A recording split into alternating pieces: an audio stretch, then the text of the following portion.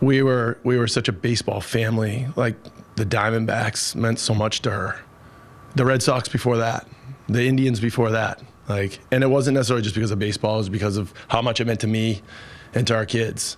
And so to watch them have, sort of have that moment, you know, where where the one thing that Nicole said to me as she was as she was dying was that she didn't want to be forgotten. We, we, we could all right we could all understand that feeling. You know, time moves on. Everybody knows what happens, and she didn't want to be forgotten.